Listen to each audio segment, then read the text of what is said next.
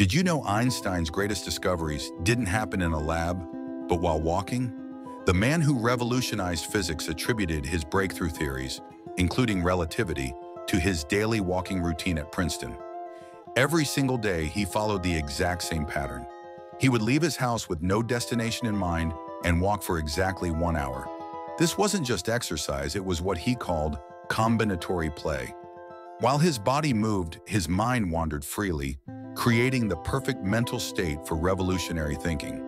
He discovered that his biggest insights came not from sitting at a desk, but from stepping away from it entirely.